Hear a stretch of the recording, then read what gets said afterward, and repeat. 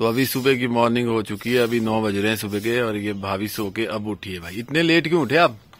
जल्दी तो आप बोलते हो जब जल्दी तो आप बोलते हो जब जल्दी मैं हाँ। तो गुस्सा करता हूँ दिन जल्दी क्यों उठी? और आरब अभी स्कूल जाने को तैयार हो गया है। ये देखो आप भैया।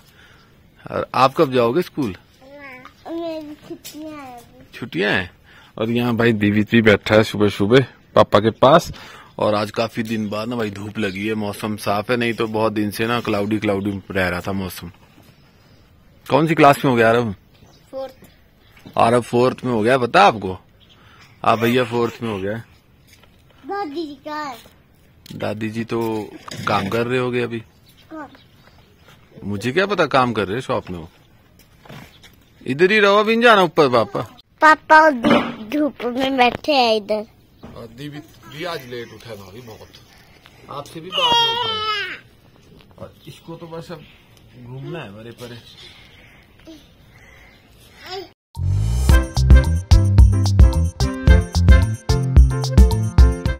अभी आ गया हूँ मैं अपने खेत में, गाय का गोबर लेके।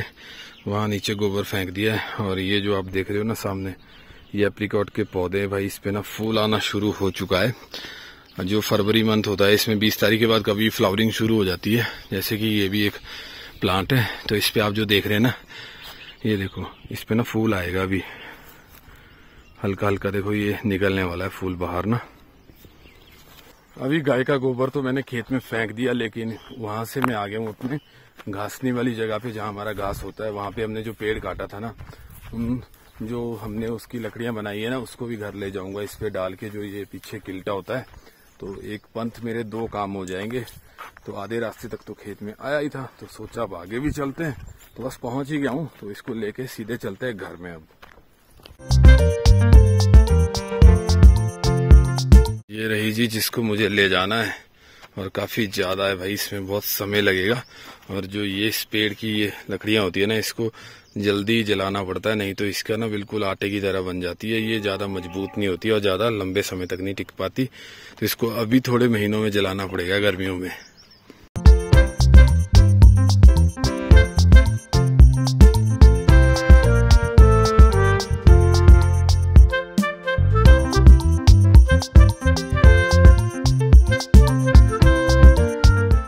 तो अभी भाई दिन का खाना पीना करने के बाद मैं आ गया हूँ अपने खेतों में। और खेतों में आप ये जो देख रहे हो, इससे करेंगे आज हम भाई अपने पौधों की कटिंग ऐसे थोड़ा सा मैं कटिंग करने के लिए लेट हो गया हूँ, पर चलो, जब जागो तभी सवेरा तो चलो, चलते अभी कटिंग करने। ये पौधे भाई अपने एप्पल के, तीन चार पौधे यहाँ पे। इनकी कटिंग करनी है और कुछ एप्रिकॉट के पौधे, लेकिन ये देखो आप भाई, थोड़ा नुकसान हो गया था हमारा यहाँ। बरसात जब इस बार हुई थी ना तो यहाँ ऊपर से ये रास्ता बिल्कुल नीचे तक हमारे खेत में। खेत पहले इतना नीचे था और ये सारी मिट्टी है भाई जो आई है अभी। अब इसको सही करना पड़ेगा। तो चलो चलो अभी अपना काम शुरू करते भाई कटिंग वाला मेन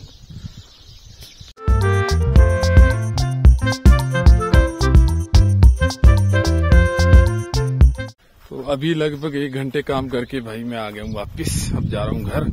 अब बच्चों को सुलाने की ड्यूटी है, क्योंकि दिन में दो दो बच्चे सुलाने मुश्किल है तो एक मैं सुलाऊँगा, एक अंजू सुलाएगी। और साथ में भाई ये मटर मिल गई, जो कि हमारी मटर लगभग तैयार होने में पाँच से आठ दिन है। अगर बारिश अच्छी हो जाएगी तो अच्छी निकल जाएगी, नहीं तो सूखने लग रही है और थोड़ी तैयार हो गई है तो अभी चलते सीधे घर।